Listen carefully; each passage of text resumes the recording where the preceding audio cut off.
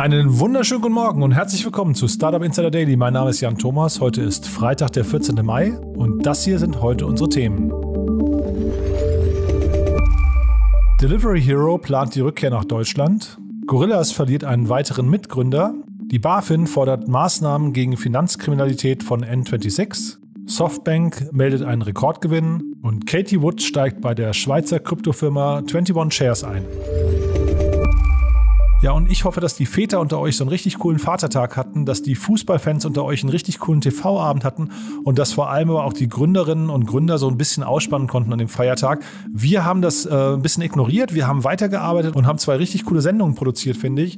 Die eine kommt heute Vormittag. Da ist zu Gast Christoph Behn von Better Ventures. Äh, wir haben gesprochen zum einen über zwei sehr spannende Themen, aber was viel cooler ist, Christoph hat einen Gast mitgebracht, nämlich Stefanie Meyer von VCoach. Und da konnten wir ein Investment verkünden und zwar exklusiv. Worum es dabei geht, äh, der Name verrät es ein bisschen, aber worum es dabei geht, wird uns Christoph gleich erklären. Und das finde ich total cool. Also auf jeden Fall mal ein exklusives Investment hier im Rahmen unserer Reihe Investments und Exits. Und heute Nachmittag dann zu Gast Peter Specht von Creandum. Mit ihm habe ich gestern Abend gesprochen und wir haben nochmal zwei Investments des Tages durchgesprochen. Zum einen haben wir den Influencer-Markt besprochen und zum anderen haben wir das Thema Mental Health besprochen. Da gab es zwei Rieseninvestments. Zum einen in ein Startup, wo eVentures investiert ist und zum anderen in ein Startup, wo Project A investiert ist. Also das heute Nachmittag. Und was ich total cool finde, bei uns ist außerdem heute Nachmittag zu Gast Johannes Siebers. Er ist der Co-Gründer und CEO von Hollydo. Und da gab es ja gerade eine 37 Millionen Runde und das Interview ist aus mehreren Gründen total interessant. Zum einen finde ich natürlich, also 37 Millionen ist erstmal echt eine ordentliche Hausnummer, aber zum zweiten wie geht es denn eigentlich dem Reisemarkt? Darüber habe ich mit Johannes gesprochen. Und dann, was bei äh, Holido total spannend ist, beziehungsweise die haben auch noch ein zweites Unternehmen und die verfolgen insgesamt einen sehr spannenden Ansatz, nämlich ein B2C-Modell auf der einen Seite und ein B2B-Modell auf der anderen Seite. Und das erscheint mir sehr vielversprechend und ich glaube, das ist auch ein Modell, was viele, viele andere Branchen noch adaptieren könnten. Also lasst euch da mal inspirieren. Das alles heute Nachmittag so circa ab 14 Uhr. Jetzt aber erstmal die Nachrichten mit Anne Dressel. Die kommen wie immer nach den Verbraucherhinweisen und die kommen wie immer jetzt.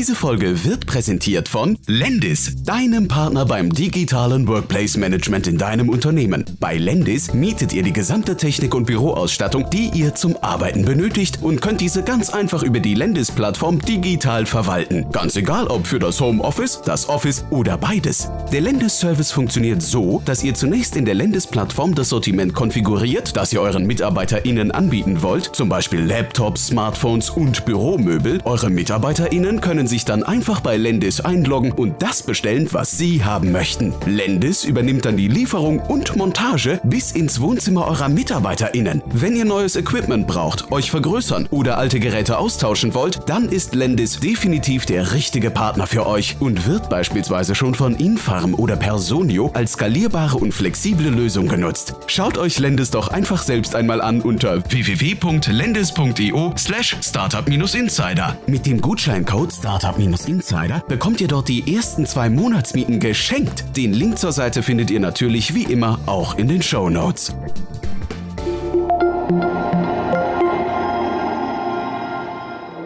Startup Insider Daily. Nachrichten.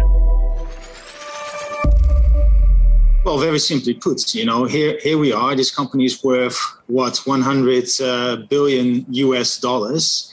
And they're completely obsessed with us. They're constantly talking about us. They put us, I think, in that interview, they've mentioned us about 10 times. You know, it, it, at some point, doesn't make sense anymore. They need to start focusing on themselves and not on us. And therefore, I said, well, you know, apparently you want to do something to us if you're talking about us rather than about your own expansion. Uh, and that was the nature of my of my tweet. I meant no harm with it. Delivery Hero plant die Rückkehr nach Deutschland. Nachdem der Essenslieferdienst Delivery Hero vor zwei Jahren sein Deutschlandgeschäft an den Konkurrenten Takeaway verkauft hatte, kündigt das Unternehmen nun die Rückkehr nach Deutschland an. Unter dem Namen Food Panda sollen die Geschäfte hierzulande wieder aufgenommen werden. Delivery Hero war seit dem Verkauf an die niederländische Konkurrenz vor allem in Südostasien aktiv, obwohl es an der deutschen Börse notiert war. Die Ankündigung Delivery Heroes kann zugleich als Kampfansage an die Schnelllieferdienste wie Gorillas angesehen werden. Delivery Hero Gründer Niklas Östberg kündigte an, die Position als Marktführer übernehmen zu wollen.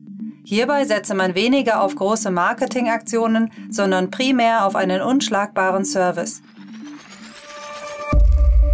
Gorillas verliert weiteren Mitgründer. Innerhalb von wenigen Monaten verlässt ein weiterer Mitgründer den gehypten 10-Minuten-Lieferdienst Gorillas. Erst im Februar verabschiedete sich Jörg Kattner. Nun folgt COO Felix Krobock, welcher das Unternehmen scheinbar bereits Ende April verlassen hatte. Einen genauen Grund für seinen Austritt nennt Gorillas bislang nicht. Einer Quelle aus dem Unternehmen zufolge sollen familiäre Angelegenheiten der Grund dafür gewesen sein. Zeitgleich präsentiert Gorillas Chef Kagan Sümer mit Ronny Shibley als CTO, Ronny Gottschlich als CCO und dem Expansionsverantwortlichen Kanberg Donmers ein erweitertes Management-Team für das schnell wachsende Unicorn. The rapidly growing e-commerce is a painful headache for many logistic companies. The last mile delivery is no longer a plain transportation for just one product type to one destination. Rather, it involves delivery of many different products and services to many different receivers with high expectations on service levels and precise time windows. The market is highly competitive. Top challenges involves to manage the increased complexity as well as minimize cost per stop. Westwing kündigt eigene Last-Mile-Services an. Die letzte Meile bleibt ein stark umkämpftes Umfeld. Nach HelloFresh hat nun auch der Interior-Anbieter Westwing einen eigenen Lieferservice für die letzte Meile angekündigt. Im Zuge dessen solle die Zustellung über externe Paketdienstleister sukzessive auf eigene Mitarbeiter verlagert werden. Derzeit laufe bereits ein Pilotprojekt mit rund 30 Mitarbeitern in München. Dieses solle anschließend auf andere Metropolen ausgeweitet werden. BaFin fordert Maßnahmen gegen Finanzkriminalität von N26.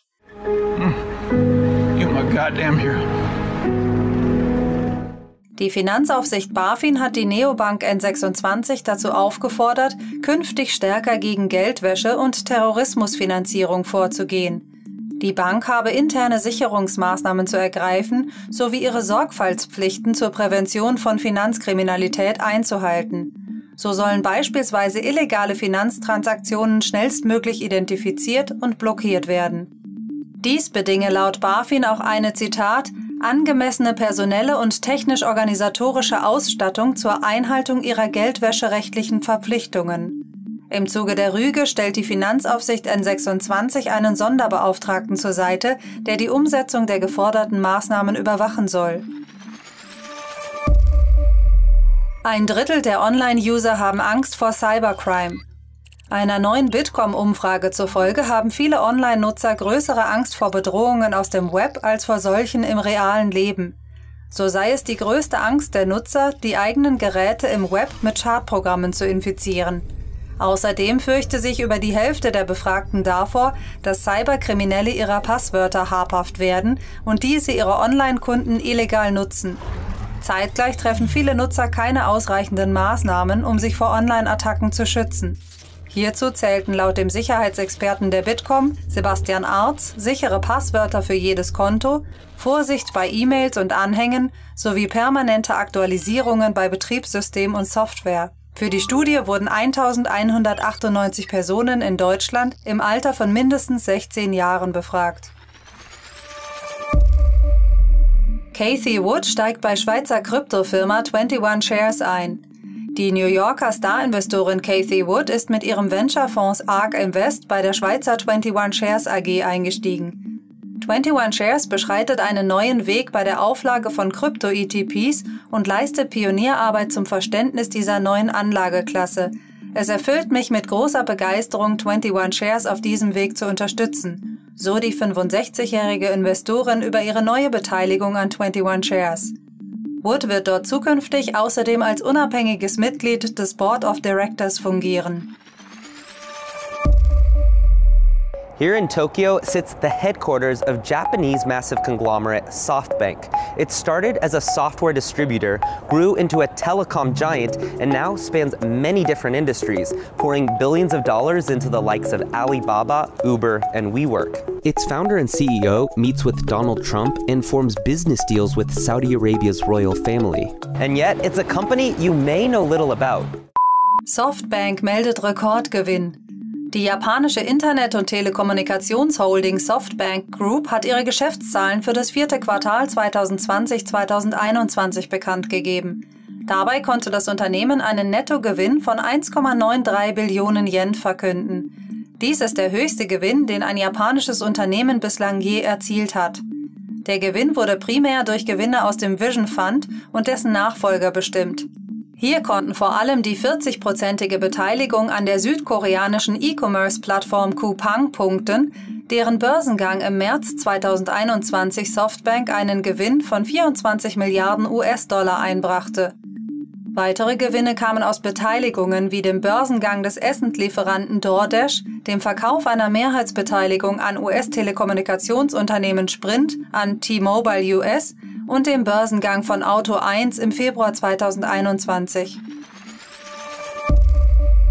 Wir schauen jetzt einfach mal auf CoinMarketCap, um uns einen Überblick über Shiba zu verschaffen. Und wenn wir alle Kryptowährungen einmal nach der Performance in den letzten sieben Tagen sortieren, sehen wir, dass hier Shiba Inu mit Abstand auf Platz 1 hockt. Wir sehen hier also die besagten 1700 Prozent oder noch mehr und den großen Abstand zu ein paar weiteren Coins wie Revain oder Telcoin, welche hier natürlich immer noch sehr gute Rendite gemacht haben, allerdings nicht vergleichbar sind mit Shiba. Ethereum-Erfinder Vitalik Buterin lässt Shiba Inu abstürzen. Der Dogecoin-Klon Shiba Inu SHIB sowie zahlreiche andere der gehypten Hunde-Coins haben einen rapiden Kursverfall verzeichnet. Die relativ neue Kryptowährung Shiba Inu konnte in den letzten Tagen zunächst einen Kursanstieg von 3000 Prozent verbuchen und verzeichnete somit eine Marktkapitalisierung von knapp 13 Milliarden US-Dollar. Somit zählte die Währung zur Top 20 der weltgrößten Kryptowährungen. In einer Stellungnahme hat die weltgrößte Kryptobörse Binance darauf hingewiesen, dass 50,5 Prozent aller SHIB-Coins auf einer einzigen Adresse liegen würden. Diese gehört, wie sich später herausstellte, Vitalik Buterin, dem Erfinder des Ethereum-Netzwerks. Die Entwickler des SHIB-Coins hatten ihm rund 50 Prozent aller Token überschrieben, die dieser nun im größeren Stil verkauft. Infolgedessen ist der Kurs des SHIB massiv eingebrochen und lag bei Redaktionsschluss bei rund 6,5 Milliarden US-Dollar. Facebooks Digitalwährung zieht in die USA um. Die von Facebook initiierte Diem Association hat ihren Antrag auf Bewilligung einer digitalen Währung bei der Schweizer Finanzmarktaufsichtsbehörde FINMA zurückgezogen. Quasi zeitgleich sei man eine Partnerschaft mit der US-Bank Silvergate eingegangen. Dabei wird auch der Hauptsitz der Organisation von der Schweiz in die USA verlegt.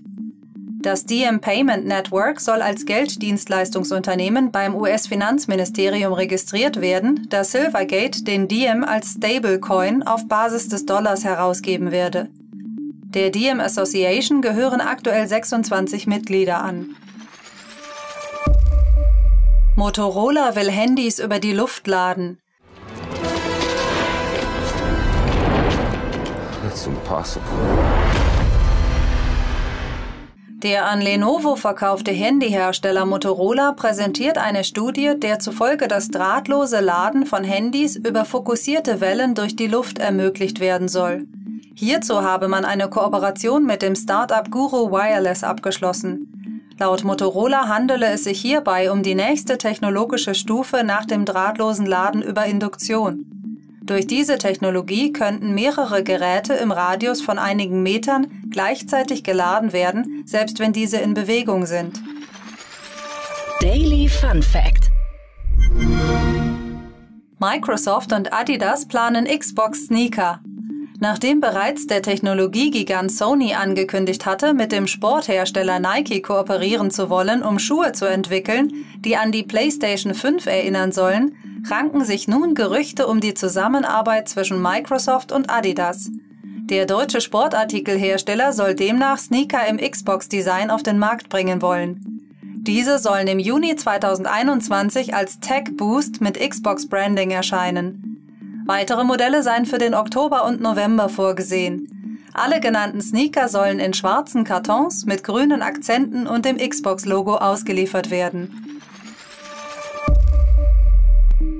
Aufruf an alle wachstumsstarken B2C-Startups. Bewerbt euch jetzt für den 7 Venture Pitch Day 2021 und gewinnt 3 Millionen Euro Werbe- und Produktionsbudget für euren eigenen TV-Spot. Jetzt bewerben unter 7venture.de. Und das waren die Startup Insider Daily Nachrichten von Freitag, dem 14.05. Ich gebe ab an Jan Thomas. Startup Insider Daily, Investments und Exits. Heute mit Christoph Behn von Better Ventures. Präsentiert von Beiten Burkhardt, euren Partnern von der ersten Beteiligungsrunde bis zum erfolgreichen Exit. Also, ich freue mich sehr. Christoph Behn ist wieder hier von Better Ventures. Hallo Christoph. Moin Jan, freut mich wieder dabei zu sein. Ja, freut mich auch sehr und ich freue mich noch mehr, weil du hast ja quasi was Besonderes mitgebracht. Wir starten ein Experiment und ich würde sagen, wir schalten mal Stefanie Meyer zu von VCoach. Hi, grüß dich. Ja, Stefanie, hi. Jetzt fragen sich die Hörer, wie kommt, wie kommt Stefanie hier in diese Runde? Ähm, und vielleicht möchte Christoph das Intro machen, denn der hat uns jetzt hier zusammengebracht. Kann ich sehr gerne machen. Also erklärt sich, glaube ich, relativ einfach. Wir haben mit äh, Better Ventures äh, kürzlich ähm, in der V-Coach investiert, ähm, sind schon ehrlicherweise schon seit einigen Monaten im Austausch gewesen ähm, und äh, haben das Team um, um Stefanie, ähm, sind tolle Gründerinnen und Gründer, ähm, äh, jetzt kürzlich mit anderen Angel-Investoren eine Angel-Runde gemacht. Ähm, ob das kann Stefanie wahrscheinlich sogar noch viel besser selbst erklären. Vor allem kann sie viel besser erklären, was sie eigentlich tun. Die äh, Firma heißt V-Coach. Und Stefanie, sag doch mal ein, zwei Sätze, kurz, das ist wahrscheinlich der beste Pitch, ähm, was ihr eigentlich konkret macht. Sehr gut, vielen Dank, Christoph, fürs Intro. Ähm, wir bei VCoach, wir machen Soft-Skill-Trainings für Unternehmen, für die ich keinen Trainer brauche und trotzdem Feedback bekomme. Ermöglicht wird das Ganze durch künstliche Intelligenz und das Ganze bedeutet, dass die Trainings so einfach und skalierbar sind wie E-Learnings, aber so viel Wirkung haben wie Präsenztrainings. Mhm. Ich habe mir das bei euch auf der Webseite angeguckt. Da habt ihr ein paar ganz ähm, ja, spannende Videos, finde ich, die das ganz gut veranschaulichen. Aber bevor wir jetzt über V-Coach im Detail reden, lass uns nochmal vielleicht über die Runde sprechen, weil äh, so kommen wir ja jetzt hier auch zusammen. Äh, Christoph, was hat euch denn an, an V-Coach so gereizt? Also ich bin erstmal persönlich ein Fan von Growth Mindset, ne? also persönliche Weiterentwicklung. Und ist aber etwas, was ich, uns immer schwerfällt. Und wenn ich jetzt zurückdenke an, an meine Phasen, ähm, und ich denke, ich habe jetzt schon relativ privilegiertes Arbeitsumfeld gehabt, würde ich mal so sagen. Ja, bei Bain irgendwie sehr gute Trainings, Gruppentrainings gehabt, aber ich war nie ein Fan von Gruppentrainings. Erstens, zweitens, ähm, ich war nie, also, also ich hatte jetzt schon die Möglichkeiten viel mehr als alle anderen oder viele andere, ja, weil ich in einer durchaus sehr gut organisierten Firma unterwegs war mit so ganz vielen High Potentials. Und was ich an Lead eben toll fand, war die Möglichkeit durch Einsatz von Technologie, das eben auch ein, der breiten Masse zur Verfügung zu stellen, also dass jeder, wenn er möchte äh, und, und Lust daran hat, eben wachsen kann persönlich. Ähm, primär mal aktuell an Präsentationsskills, eben das ist, das ist der erste, der erste Wurf gewesen. Und, äh, und das, das fand ich super spannend, aber eben daraus eben mehrere Soft-Skill-Trainings zu entwickeln, die du immer wieder aufrufen kannst. Ja? Ähm, und das hat uns mal technisch von, vom Approach überzeugt, generell das Team. Wir haben im Team mehrere, mehrere Gespräche geführt, sind wie gesagt schon länger im Austausch gewesen. Auch, auch die haben, also sie haben relativ lange gebootstrapped, fand ich toll, ja. Ähm, sehr diverses Team. Ähm, und das hat uns, glaube ich, in der Summe einfach überzeugt, haben schon echt einige zahlende Kunden auch, ja. Ähm, das ist natürlich etwas, was man als Investor gerne sieht. Ja. Und haben einfach, wenn man jetzt mal auf das Geschäftsmodell schaut, ähm, mit, mit Stephanie auch und, und den anderen, eben ein sehr diverses Gründerin-Team, äh, das, äh, sagen wir mal, die Skills mitbringt, die du und die Mindsets mitbringst und die Erfahrungswerte mitbringt, die, du, die wir glauben, man braucht, um so ein Geschäftsmodell groß und erfolgreich zu machen. Mhm. Das nehme ich nochmal als Brücke zu dir, Stefanie. Also das Team und auch vielleicht kannst du mal die Genese oder die Ideenfindung ähm, und euren Background nochmal kurz beschreiben. Wie kam es denn überhaupt zu der ganzen Idee von V-Coach? Mhm. Ja, es ist lustig, dass du es gerade äh, gesagt hast, Christoph. Ich habe nicht genau den gleichen Background und Benjamin ebenfalls. Wir haben, waren in der Unternehmensberatung, haben an sehr, sehr vielen Trainings selbst teilgenommen und haben die auch immer als essentiell wichtig empfunden, aber eben mit Schwächen. Also sie sind nicht flexibel, es sind immer zwei Tage, die geblockt sind, sie sind nicht skalierbar und das Wichtigste ist, ich schaffe selten, die Dinge wirklich auf die Straße zu bringen danach. Und äh, das war unser Hauptansatz zu sagen, wie kann man Trainings effektiver und einfacher machen, um eben die Wirkung zu erzielen.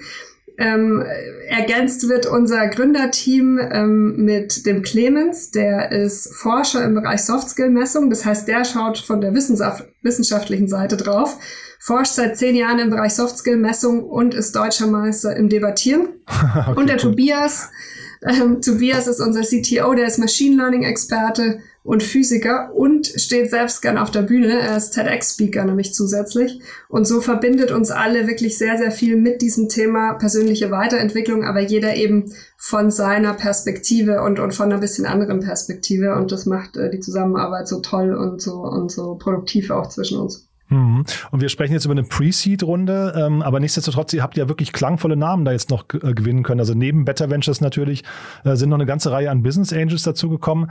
Vielleicht kannst du da nochmal schnell durchführen und auch erzählen, äh, was ihr von denen vielleicht erwartet. Wie habt ihr die denn ausgesucht und was bringen die denn vielleicht für eine Diversität noch mit? Ja, dazu, ich würde jetzt nicht auf, auf alle einzeln eingehen, aber in Summe ist es wirklich ein ganz toller Mix aus ehemaligen Gründern, aus B2B-Experten und professionellen Angels ähm, ich nenne einfach mal ein paar. Neben, neben Christoph ist zum Beispiel der Josef Abeck mit dabei, der ist ehemaliger Kommunikationschef von Porsche. Der Klaus Mantel ist mit dabei, ehemaliger Geschäftsführer von Expertier und der Björn Kolbmüller, Gründer von Flaconi und Zenloop. Und ähm, wir haben wirklich da ein ganz tolles Angels-Team an den Start gebracht, wo wir uns äh, eine sehr produktive Zusammenarbeit auch erwarten. Und äh, Christoph, du hast ja gerade schon gesagt, euch haben die ersten Kunden, die zahlenden Kunden auch schon gefreut.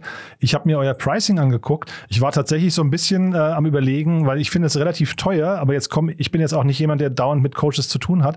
Äh, man kann sich so ein Pricing ja von zwei Seiten nähern. Wie habt ihr euch denn äh, der ganzen Sache wie, oder wie seid ihr zu, den, zu dem Pricing gekommen? Wir haben uns äh, Value-Based äh, tatsächlich genährt. Wir haben gesagt, es muss günstiger sein als das klassische Gruppentraining, das ich habe. Ähm, aber gleichzeitig haben wir auch den gleichen, wenn nicht sogar einen höheren Wert als ein Gruppentraining. Und deshalb sind wir ähm, mit einer Größenordnung von ähm, unter 300 Euro pro Teilnehmer da sehr, sehr kompetitiv unterwegs, deutlich günstiger als die Gruppentrainings, mit denen wir uns vergleichen.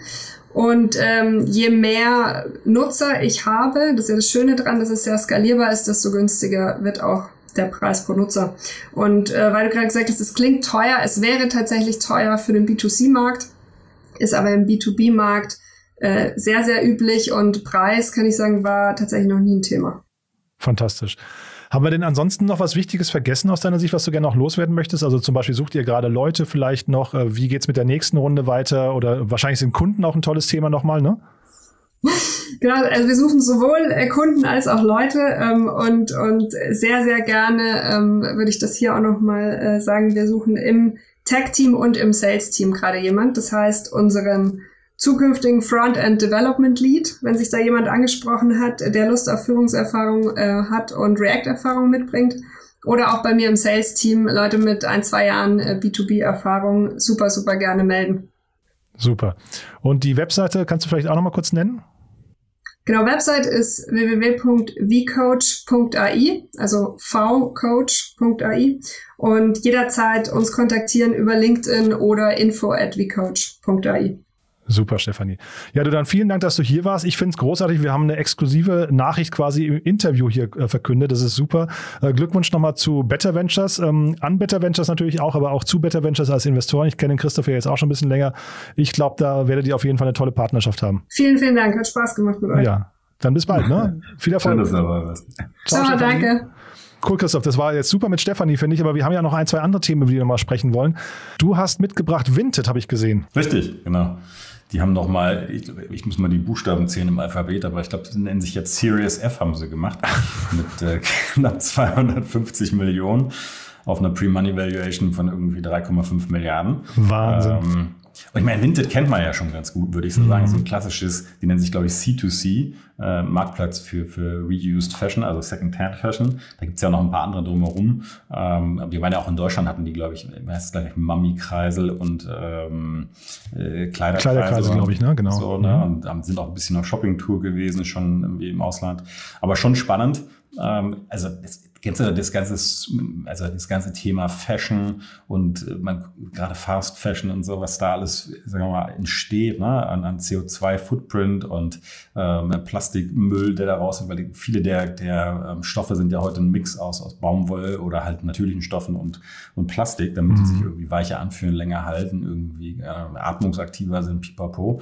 Ist dann aber eigentlich quasi fast Sondermüll. Ja? Wir haben da auch irgendwie mit Startups gesprochen im letzten Jahr, äh, die das versuchen, wieder zu recyceln, äh, ist tatsächlich nicht ganz einfach, aber gibt es so ein paar Ansätze. Aber ich meine, einfacher ist es natürlich im allerersten Schritt mal, dass du einfach die Klamotten länger nutzt ja, und nicht irgendwie alle drei Monate äh, äh die neue Klamotten kaufst. Mhm. Und, und da, da, hilft halt Vinted und die anderen äh, Marktplätze und Firmen dazu. Deswegen finde ich es grundsätzlich toll, ähm, äh, dass das da vorangeht. Ähm, aber ist jetzt auch kein neues Thema. Ne? Also ist natürlich ein, ein, ein spannendes Thema, aber irgendwie ähm, ja, altbekannt, würde ich mal sagen. Ja, wobei die Rundengröße, ich finde, das ist halt nochmal, ja, das ist, ist noch spektakulär, ja. Also, weil das, das, also ich habe mich gefragt dabei, ob das irgendwie so ein Thema jetzt die äh, Generation Fridays for Future, ob die jetzt hier quasi nochmal eine Rolle spielt, dass man mal sagt, der Markt wird nochmal deutlich größer, als man es vielleicht erwartet hat. Ja, also das ist eine gute Frage, ne? Also es ist so auch so die, die, die, ähm, das spielt sicherlich mit rein. Das sehen wir bei, bei einigen Firmen, die wir natürlich auch um uns herum haben, dass ein Riesenthema ist einfach. CO2-Footprint und, und dass das einfach mehr in das Consumer-Mindset reinkommt. Ja.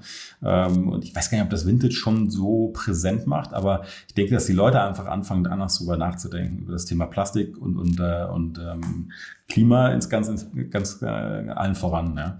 Und, das, und dann, ich glaube, das ja auch mit reinspielt, das ist halt ein E-Commerce, wenn du so siehst. Ja. Das heißt, äh, Retail hat verloren, wenn man ganz ehrlich ist, im letzten Jahr und äh, E-Commerce hat gewonnen. Also die werden natürlich auch davon profitiert haben. Ähm, so gesehen ähm, spielen da wahrscheinlich mehrere Themen mit rein. Ne? Und siehst du, dass die vielleicht, also Kleiderkreisel haben sie gekauft und umge umgebrandet. Das habe ich, hab ich schon mal als sehr bemerkenswert gesehen, weil ich finde, so eine Marke einfach wegzuschmeißen ist natürlich auch mutig.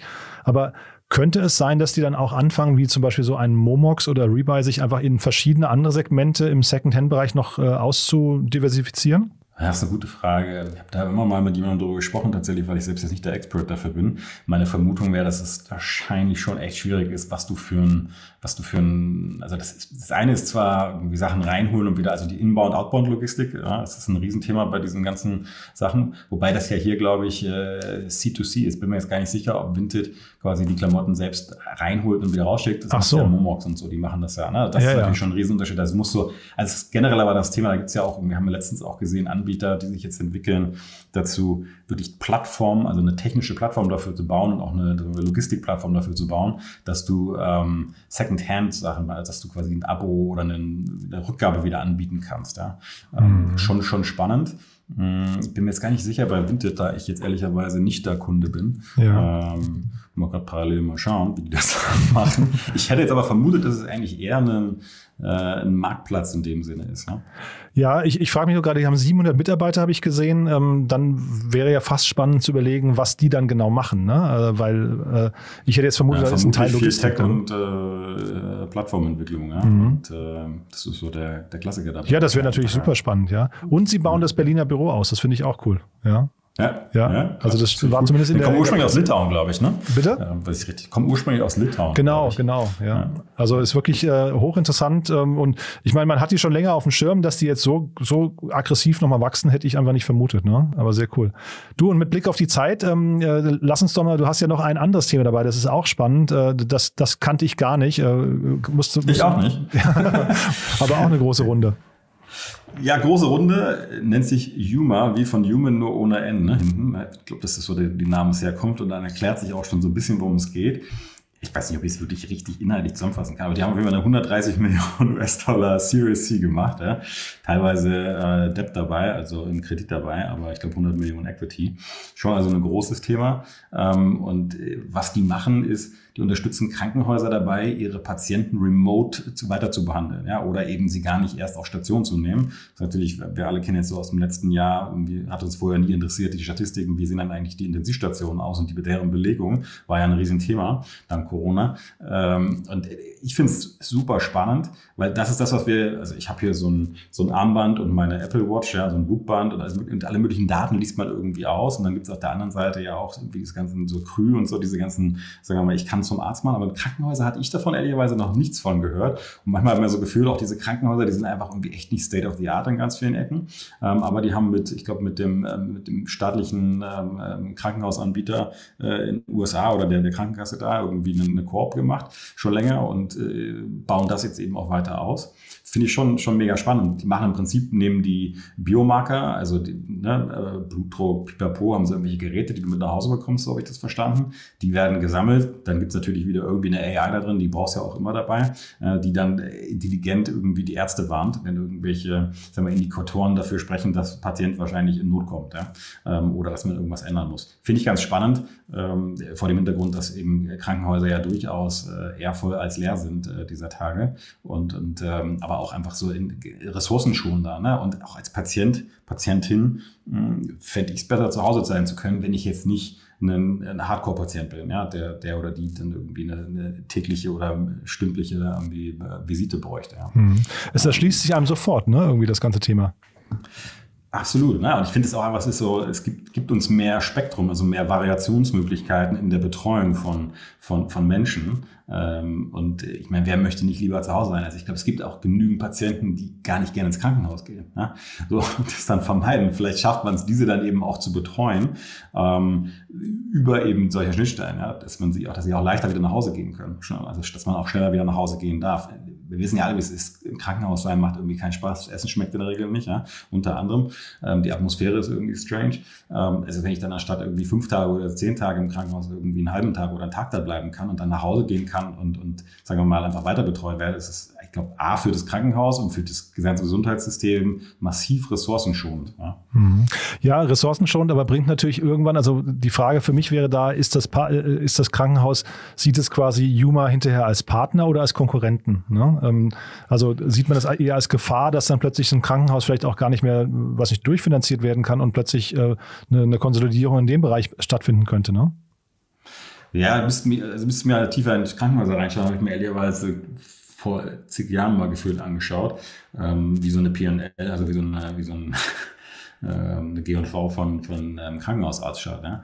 Ich meine, am Ende des Tages verdienen die wahrscheinlich am meisten an den richtigen OPs. Ähm, und äh, die werden ja weiterhin da sein. Es geht ja mehr um die Betreuung und die Betten, die du, be, die du belegst. Ähm, und äh, am Ende des Tages, wir haben uns mal vor äh, ich glaube, ein Dreivierteljahr ein, ein Startup angeschaut, die in UK äh, Psychotherapeuten geholfen haben, wo wir auch gesagt haben, hey, aber ähm, die, also, ne, die, die Anamnese zum Beispiel und die Behandlung erleichtert haben. Also, dabei schaden die sich damit nicht selbst, sondern haben gesagt, nee, das Problem ist einfach, das Gesundheitssystem ist überlastet an ganz vielen Stellen. Ja, Kranken, Krankenkassenbeiträge sind viel zu hoch, um es mal einfach so zu sagen. Wir würden alle am liebsten das, also die Betreuungsintensität erhöhen, aber irgendwie die Kosten reduzieren. So, also ich glaube nicht, dass das ähm, konträrs, weil also die Ärzte selbst, glaube ich, die meisten dann schon, schon auch irgendwie Hippokratische Eid und Co. Ja, ähm, Menschen helfen wollen und alles, was ihnen hilft, Menschen zu helfen in der richtigen Intensität, ähm, glaube ich, wird auch, wird auch ähm, vorangehen. Ja. Hm. ja, wollen wir hoffen, dass es genauso ist, wie du sagst. Klingt auf jeden Fall gut. Was ich hier äh, spannend finde noch bei der Runde, da war eine ganze Menge großer Firmen noch dabei, die sich beteiligt haben, ne? Absolut, habe ich auch gesehen, aber ich auch gesagt, das ist jetzt nicht die typische Runde. Man sagt ja immer so, äh, da ist jetzt, glaube ich, Bayer mit dabei, dann Unilever, Sony, Samsung, mhm. ähm, Hitachi und so. Also, man so, okay, hat auch ein normaler VC investiert und äh, ist tatsächlich spannend, ja. Also ähm, das äh, habe ich jetzt noch nicht rausgefunden, warum das so ist. Weil mhm. meistens sagt man ja so, hey, wenn du, wenn du Venture machst, dann versuchst du erstmal einen unabhängigen VC-Investor zu finden und nur wenn du da nichts findest, gehst du zu einem, einem Semi-Strategen. Mhm. Ja. Ähm, insofern spannend, dass sie es gemacht haben. Es ist aber auch, glaube ich, wieder jetzt kein einfaches Thema. Thema. Ja? Mhm. Ähm, wenn, du, wenn du große Krankenhäuser, Krankenhausketten ähm, und Krankenkassen da in diesem Stil und dann wahrscheinlich auch noch in gewisser Weise jetzt nicht Heavy Asset, aber Heavy Technology. So, und also ich kann mir vorstellen, dass es dann nicht einfach war, die ersten Investoren zu finden. Ja. Ja, und vielleicht helfen dann solche Partner eben mit ihrer Strahlkraft auch noch, ne, mit ihrer Brand einfach so Türen zu öffnen. Weil hier muss man, man muss ja wirklich wahrscheinlich hier sehr, sehr stark überzeugen hinterher. Ne? Wahrscheinlich, ja, ja, klar. Da geht es viel um Vitamin B wahrscheinlich. Ja. Ähm, und die haben ja dann häufig schon die, die Beziehung zu den äh, Krankenhäusern. Genau. Ja. ja. Nee, also echt ein cooles Thema. Bin mal gespannt, wann das nach Deutschland kommt. Also ich habe verstanden, ich glaube UK und äh, USA sind die unterwegs. Ne? Ähm, und also hat auf jeden Fall das Potenzial, glaube ich, groß zu werden. Mal schauen. Sind wir mal gespannt. Würden Sind wir gespannt. Freuen, das also das bringt, war jetzt ne? wieder ein, war ein cooler Ritt, muss ich sagen. Ähm, und vor allem auch mit Stefanie hat mir echt Spaß gemacht, sowas hier mal zu präsentieren. Einfach mal eine, eine Verkündung quasi mit dem Startup selbst. Hat man auch nicht alle Tage. Also cool, dass du sie mitgebracht hast. Äh, danke dafür. Und äh, dann hören wir uns wieder in vier Wochen, ne? Äh, ja, sehr wahrscheinlich. Super. Christoph. Klasse. Hat Spaß gemacht, wie immer. Vielen, vielen Dank. Ne? Dann bis dahin und einen schönen Feiertag. Ne? Wünsche ich dir auch. Danke. Dieser Beitrag wurde präsentiert von Beiten Burkhardt, den Venture Capital Experten. Maßgeschneiderte Beratung von der Gründung bis zum Exit. Startup Insider Daily, der tägliche Nachrichtenpodcast der deutschen Startup-Szene. Ja, das war's für heute Vormittag. Das war eben Christoph Behn von Better Ventures und wie gesagt, zu Gast war Stefanie Meyer von V-Coach. Ich finde es total cool, dass wir hier Investments verkünden können. Es hat mir echt großen Spaß gemacht. Herzlichen Glückwunsch nochmal an Better Ventures und V-Coach für die tolle Runde. Und äh, ja, wir hören uns nachher wieder. Ähm, um 14 Uhr circa geht's weiter. Dann auf jeden Fall zu Gast Johannes Siebers, der Co-Gründer und CEO von Holido. Ich habe es ja vorhin gesagt, 37 Millionen Euro wurden eingesammelt. Und bei uns zu Gast Peter Specht von Creandum. Dann reden wir über das Thema Influencer und über das Thema Mental Health. Also es bleibt spannend. Euch vielen Dank fürs Zuhören. Bis nachher. Alles Gute. Ciao.